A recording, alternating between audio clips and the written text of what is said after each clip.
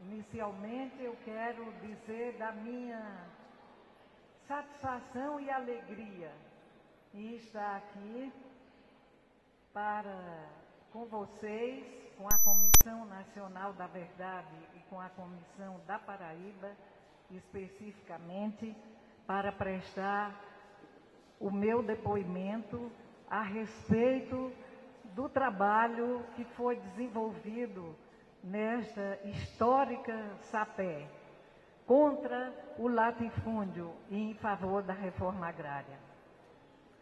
No nosso processo civil e penal brasileiro, existem dois, duas maneiras de uma pessoa testemunhar sobre os fatos.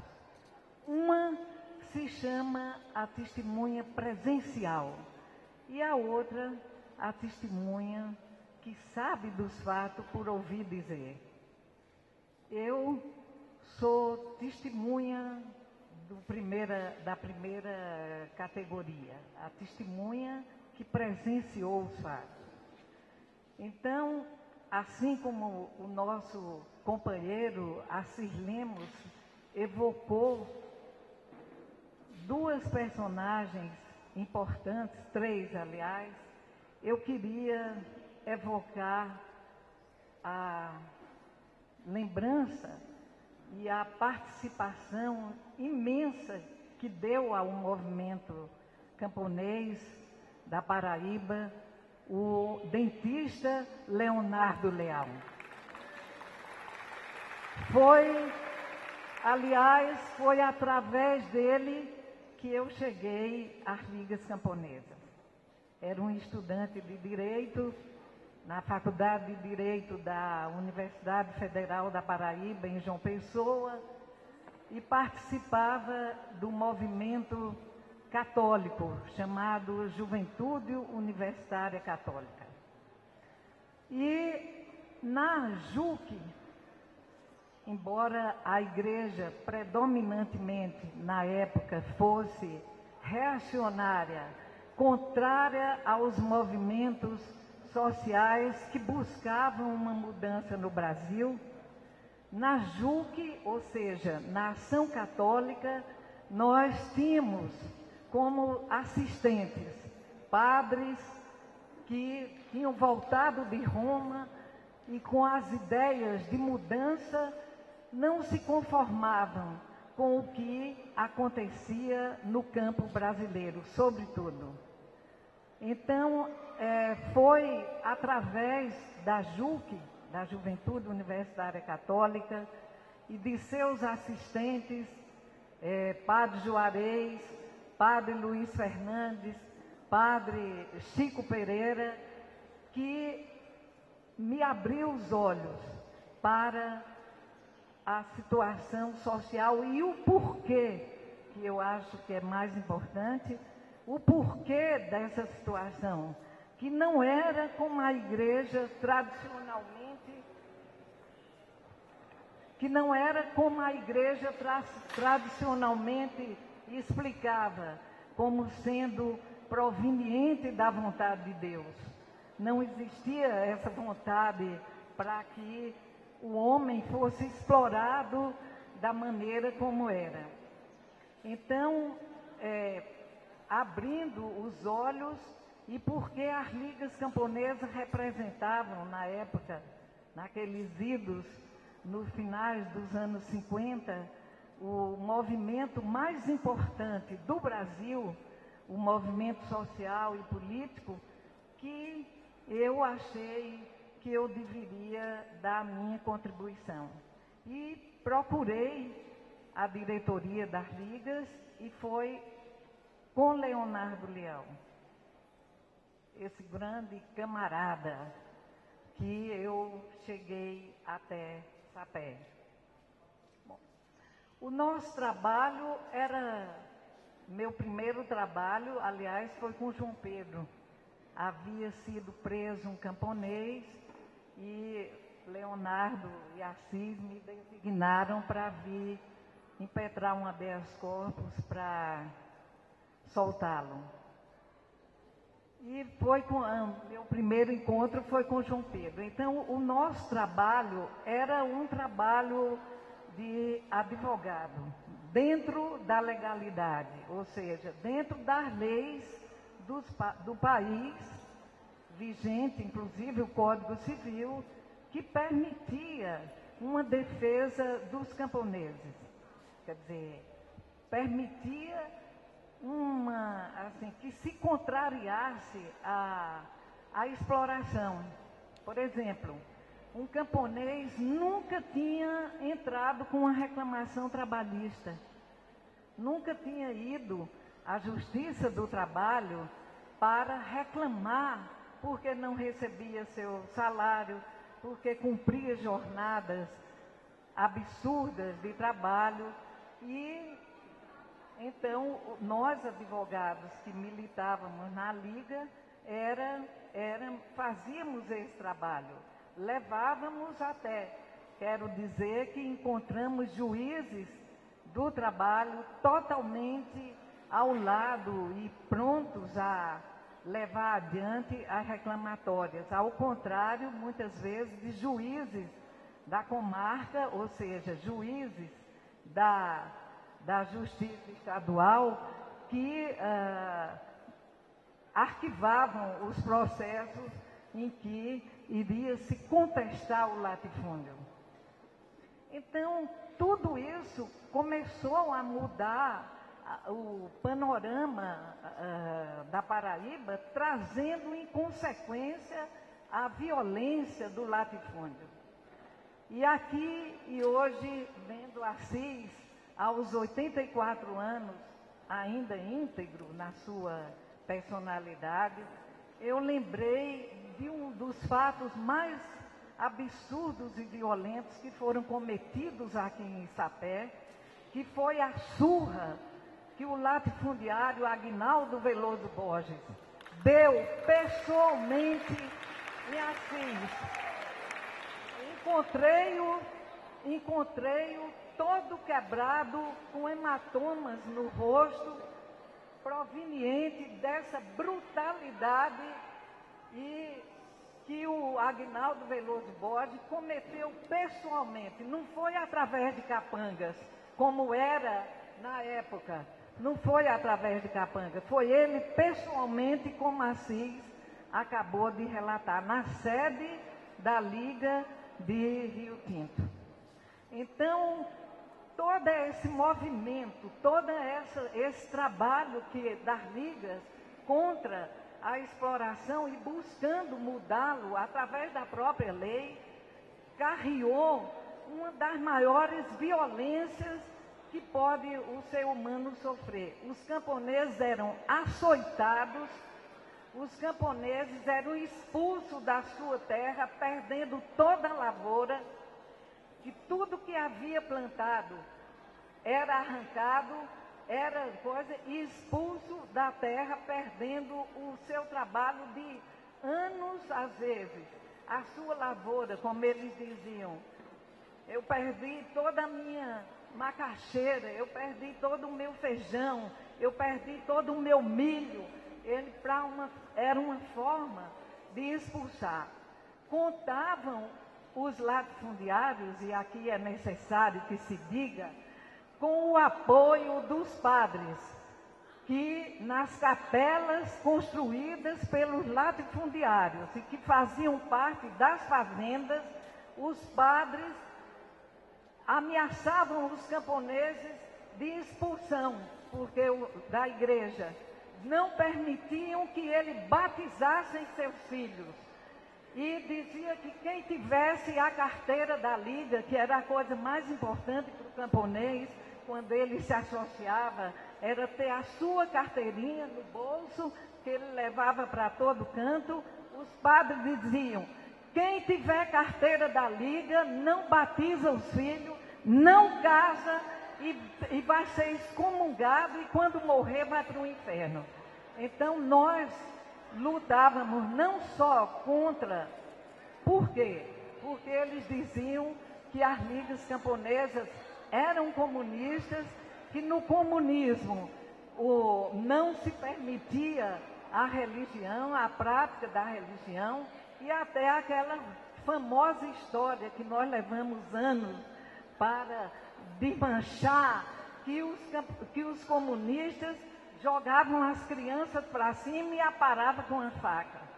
Fora que estupravam as moças, fora que não existia, que a liberdade sexual era difundida e, portanto, nós moças que entrássemos na liga, a primeira coisa que ia acontecer era perder a virgindade. Então, toda essa campanha, todo, toda essa.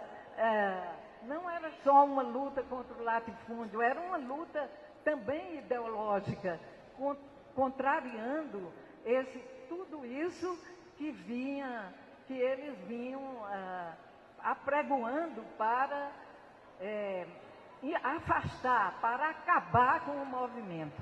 Então, eu acho que a grande dificuldade que nós enfrentávamos era, não era uma só a luta contra o latifúndio, era a luta contra a religião, contra o sistema, contra as pessoas que repudiavam, tinham verdadeiro nojo de quem ia para a briga. Fora, assim, então nas concentrações das ligas camponesas, que eu, eram os grandes movimentos em João Pessoa, eu estava contando na vinda para a Cleide que eu lembrei agora diante dos movimentos sociais atuais, é, que o povo fechava a janela, fechava as portas, daí os camponeses vêm aqui para quebrar tudo. E nós fazíamos concentrações e movimentos muito pacíficos. Nunca houve vandalismo, nunca houve quebra-quebra. Os camponeses tinham o maior respeito pelas pessoas e quando se concentravam e quando faziam seus, as suas passeatas, eram da forma ordeira e respeitando as pessoas e a propriedade, digamos assim. Nunca houve quebra-quebra. Então, ah, tudo isso, e juntamente com os outros movimentos sociais que desenrolavam no país, o movimento estudantil, trouxe a reação que levou ao golpe de 64, que já tinha sido tentado em 61, quando Jânio renunciou e os militares tentaram impedir que Jango tomasse posse como vice-presidente da República, e então que nós fizemos, e as ligas participaram do movimento pela legalidade contra o golpe, em 61 nós conseguimos deter o golpe que se avizinhava há muitos anos contra a democracia. E houve o plebiscito e houve a devolução dos poderes do presidente da República, que foram tolhidos em 61 ao presidente João Goulart, que deu, vamos reconhecer, o maior apoio ao movimento camponês. Ah, o ministro Almino Afonso chegou a vir a uma concentração das ligas camponesas. Ele era o ministro do Trabalho do governo de Jango e veio a uma concentração da liga, lembro como se fosse hoje. E o próprio Jango veio a um comício uh, em Campina Grande das forças eh, progressistas que estavam lutando para que fosse devolvido a ele, ele na ocasião vice-presidente, fosse devolvido a ele os, os, o, o poder que havia sido tolhido e acabado pelo Congresso Nacional com os tanques na porta do Congresso. Bom, então tudo isso em rápidas palavras, eu gostaria de preservo minha memória para que eu não esqueça esses fatos, apesar de tão longínquos e hoje viver no estado de São Paulo, numa outra vida, eu tento preservar, numa rápida palavras, vamos chegar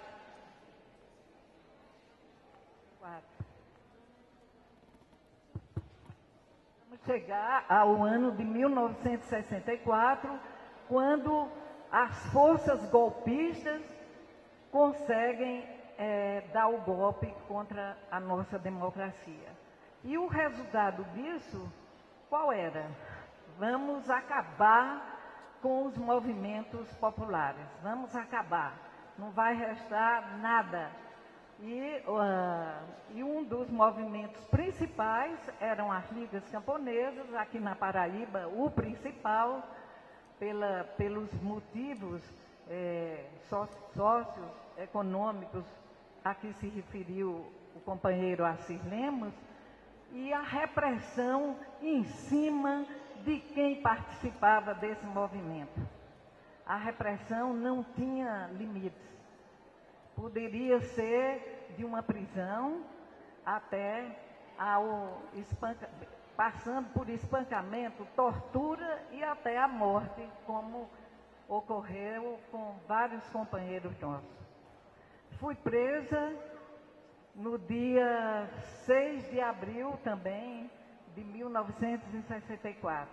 Eu estava no Rio, eu tinha ido porque as ligas haviam me indicado para ser advogada da Superintendência da Reforma Agrária, a SUPRA, que veio depois a ser substituída pelo INCRA, e eu tinha ido também participar do comício do dia 13 de março, na Central do Brasil, que acreditamos tenha sido o estopim do golpe.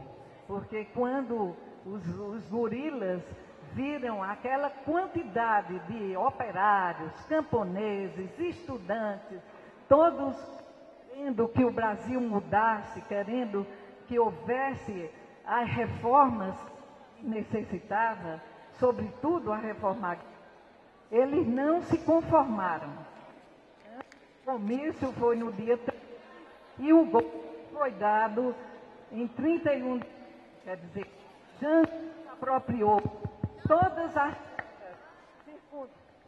é, circunvizinhas às rodovias federais para fazer a reforma agrária, os militares e decretou a, como é, a desapropriação das, das duas refinarias particulares que haviam no Brasil, a de Manguinhos e outra que eu não me recordo. Então, os militares disseram: está indo longe demais, o Brasil vai realmente mudar, então vamos deter isso. Então, eu fui, participei como. Uh, fui até no caminhão da Uni com outro paraibano que eu gostaria de relembrar aqui, porque foi desencadeou toda a sua inteligência, toda a sua arte, toda a sua vibração de a Paulo Pontes, o teatrólogo Paulo Pontes. Então, uh, que também veio várias vezes às nossas reuniões aqui, lembra-se? Paulo Pontes, o nosso que orgulha a Paraíba, não só pela luta, pela sua brilhante inteligência, autor da famosa peça A Gota d'Água, juntamente com Chico Buarque de Holanda. Então, eu, meu pai se comprometeu com os militares que eu que estavam me procurando que eu me apresentaria e eu vim, voltei e me apresentei é, aliás, eu, eles mandaram até um salvo-conduto aqui da Paraíba para eu não ser presa no aeroporto de Recife quando desembarcasse. E aí, inicialmente, eu fui presa no grupamento, no, no, no 15º Regimento de Infantaria. Nós lá tínhamos um quarto, que era o quarto do coronel, que, onde estávamos presas as mulheres participantes da, da luta é, do movimento de alfabetização pelo método Paulo Freire, da CEPLAR, a, como é, movimento operário, tinha, tinham poucas mulheres presas. Então nós ficamos lá aguardando a hora de sermos chamadas para prestar os nossos depoimentos. Realmente, é, não, poder, não posso dizer, porque seria faltar a verdade, que naquele, naqueles dias, lá no 15º Regimento de Infantaria, não sofremos tortura, não fomos maltratadas, e o presidente do inquérito policial militar era o Major Aquino, um sujeito que é, um sujeito de que assim eu às vezes pensava que ele discordava até do golpe. Ele tinha muitos militares progressistas na época e eu acreditava pela maneira como ele nos interrogava, como nos tratava, que ele discordava daquela, da violência, pelo menos com que o, os militares estavam tratando os ditos comunistas, né? Então respondi, fiquei presa primeiro, depois no grupamento de engenharia, onde encontrei Elizabeth Teixeira, a viúva de João Pedro, ficamos presas na mesma cela depois a Elizabeth foi solta e aí eu fui transferida para Campina Grande, para o sétimo grupamento de engenharia, onde morava minha família e eu, naquela época, era a única mulher que ainda estava presa. Então, eles acharam melhor mandar para Campina Grande. Então, eu fui e lá era um quartel de tropa, digamos assim, onde havia a prestação do serviço militar.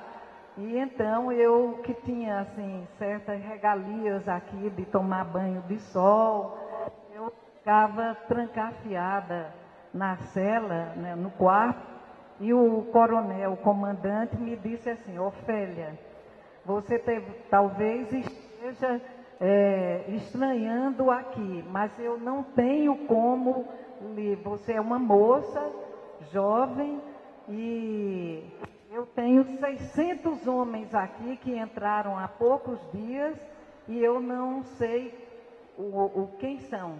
Eu ponho a minha mão no fogo pelos meus oficiais e pelos meus sargentos. Mas por esses soldados, essa tropa, eu não tenho como.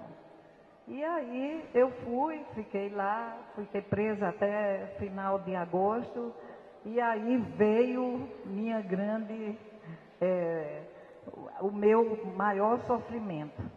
Como ah, o, eu tinha atuado e eles achavam que as ligas eram uma coisa só né, em Pernambuco e na Paraíba, eu fui chamada para ir para Recife para prestar o depoimento e onde eu tive a má sorte, aliás, que não era só minha, de conhecer o famoso Major Hélio Ibiapina de Lima.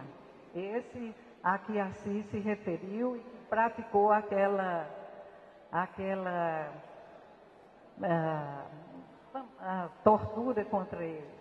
Então ele mandou me chamar, eu fui e ele disse assim: só foi me atender, eu cheguei no quartel, era, ele disse que eu estivesse lá às sete da manhã. Então ele só foi me, me falar comigo à meia-noite. Ele era de uma. Eu ficava bobo, porque ele parece que não dormia. O ódio dele aos comunistas era de tal ordem que ele, eu acho era a, a mola propulsora do, da vitalidade dele. Então, meia-noite, ele me chamou para eu prestar o meu primeiro depoimento. E aí ele me disse assim: então a senhora, você, é, a famosa, é famosa por seus discursos. Então você vai prestar seu depoimento em tom de discurso. Suba ali. Era um tablado assim. Suba ali e vá falar como, a, como você fala nas ligas, incitando os camponeses. Aí eu disse, olha, eu acho que ele era tenente-coronel, não era major. Tenente, eu disse, olha, coronel, eu não, não, não sei fazer discurso. Ah, não? E como é que você vai? Como é que você fala tanto? Todo mundo só fala nos seus discursos. Coitada de mim. Eu nunca fui uma grande oradora. Ah, você só fala, você fala. Então você vai falar. Eu aí dissuadi. Disse, olha, coronel, eu acho que um, um depoimento eu nem saberia contar e responder às suas perguntas em tom de discurso. Consegui dissuadi-lo. E aí eu lembro que eu estava assim, e tava, era uma sala enorme, estavam sendo ouvidos Miguel Arraes, Francisco Julião e um outro lá de Pernambuco, e Pelópolis da Silveira, que era o prefeito de Recife e que também fora preso. Então, esse estávamos eh, sendo ouvidos todos ao mesmo tempo e Biapina saía de um para o outro. E ouvi isso de um, passava para o outro e ouvia o outro, e assim ele ia de noite, de dia e tudo. Até que ele olhou para mim, eu vou contar isso porque é até folclórico. Ele olhou, depois de três dias de depoimento, ele disse, olha, eu acho que seu problema é casar. Você precisa casar. Aí eu disse assim, não, coronel, ele disse, olha, tem um capitão aqui solteiro. Aliás, ele vai embarcar amanhã para as tropas, para integrar as tropas, as tropas do Brasil no canal de Suez. Então eu vou lhe apresentar a ele. Eu disse, eu vou morrer. Imagina se esse homem resolve me casar na marra. Aí, eh, achando que meu problema era casar.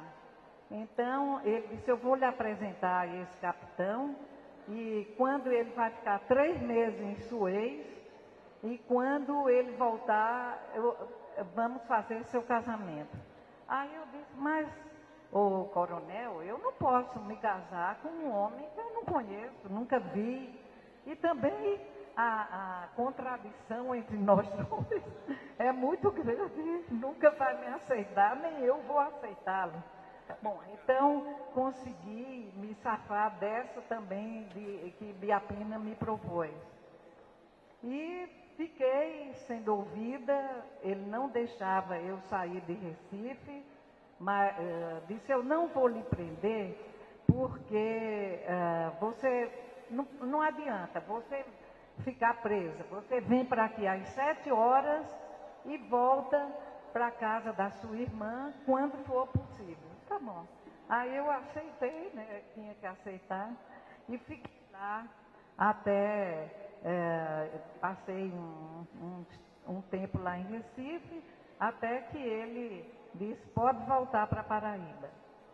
E eu voltei, fui, houve, veio o processo crime perante a sétima auditoria militar, que era em Recife, e aí eu me defender. Aí era cinco processos contra a Lei de Segurança Nacional. E respondi a esses, esses processos. Minha, minha situação na Paraíba ficou insustentável, porque lá em Campina Grande eu não podia sair para encontrar alguma pessoa conhecida, alguma que imediatamente ligavam para o coronel e o coronel ligava para o meu pai dizendo, Ofélia está se reunindo, ela vai voltar para a prisão. Então eu achei que estava insustentável para mim continuar em Campina Grande e então fui morar em São Paulo.